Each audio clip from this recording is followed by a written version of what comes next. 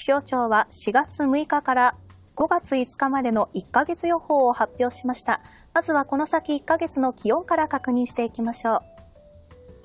日本の南には高気圧が大きく張り出します。4月中旬にかけては高気圧の縁を回って暖かい空気が流れ込むため、特に気温が上がりやすくなる見込みです。13日土曜日前後からの5日間の平均気温が平年よりもかなり高くなる可能性が高いとして気象庁は全国を対象に高温に関する早期天候情報を発表しました。4月下旬以降も極端な気温の低下はない見通しで1ヶ月の平均気温は全国的に平年よりも高い予想です。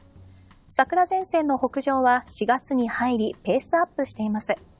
今後の気温の影響を受けやすい北日本では、平年よりも早く見頃を迎えるところが多くなる見通しです。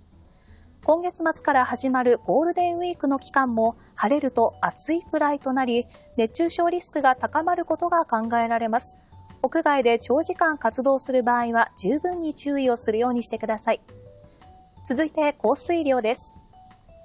日本の南に高気圧が張り出し、その北側には前線が停滞しやすくなります。湿った空気が流れ込むことで雨が降りやすく、西日本、東日本の太平洋側の降水量は平年並みか平年よりも多い予想です。気温が高い分だけ流れ込む水蒸気の量が多くなりやすく、季節外れの強い雨には注意をしてください。北日本や北陸、中国地方は春らしく周期的に天気が変化し、平年と同様に晴れの日と曇りや雨の日を繰り返す見通しです。詳しい内容はウェザーニュースのアプリでもご覧いただけます。ぜひご活用ください。